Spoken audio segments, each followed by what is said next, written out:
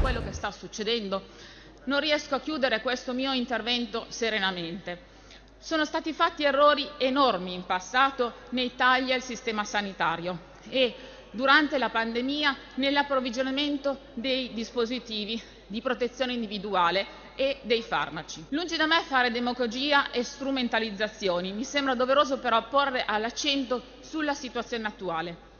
Ancora piangiamo i nostri morti, siamo qui a legiferare sull'istituzione di una giornata in memoria, loro memoria. Abbiamo fatto e abbiamo chiesto mesi di sacrifici. Ci siamo chiusi in casa tre mesi, abbiamo accettato l'elemosina dei 600 euro, abbiamo penato per il diritto alla cassa integrazione che ancora non è stata pagata a tutti, abbiamo penato per i prestiti di 25.000 euro che ancora ad oggi la famosa potenza di fuoco non è arrivata a tutti gli imprenditori italiani che ne hanno fatto richiesta, abbiamo abbassato le saracinesche dei negozi, chiuso le imprese, subito il rinvio delle tasse, la scarcerazione dei boss che ancora non si è conclusa, le evidenze della magistratura corrotta. Abbiamo subito il bavaglio delle manifestazioni non gradite, le multe ai commercianti e ristoratori, sì, quei ristoratori che il vice ministro Castelli ha suggerito di cambiare lavoro se non hanno clienti, le multe a chi portava a spasso il cane o passeggiava da solo. Abbiamo quindi subito di tutto durante questa pandemia.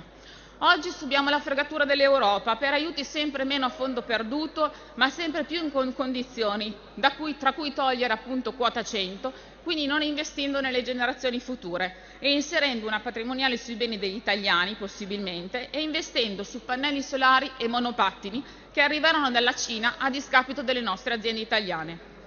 Ora, la mancanza di una politica di flussi e dell'immigrazione controllata ci sta mettendo nuovamente tutti in pericolo siccome stiamo uscendo da questa situazione di emergenza,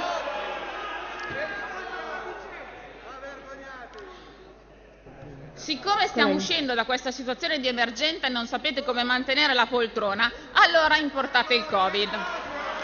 Guardate, non è una questione di razzismo, ma è una questione di buon senso e di sicurezza sanitaria pubblica il caso delle fughe di migranti da Mantea, di Jesolo, di Caverzere, di Gualdo Cattaneo e di Taranto e tanti altri denotano l'irresponsabilità del vostro colleghi, governo.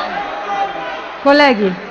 Andate in Europa a chiedere fondi, professando la bellezza del nostro Paese e l'importanza del turismo per una ripresa economica e poi nei fatti fate scelte che rovinano l'immagine del nostro bel Paese all'estero e fate scappare i turisti.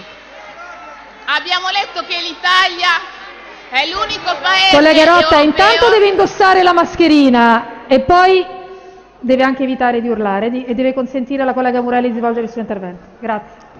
Abbiamo letto che l'Italia è l'unico Paese europeo a non aver ancora presentato a Bruxelles il programma nazionale delle riforme per fronteggiare l'epidemia, l'impatto del virus su imprese, occupazione ed economia.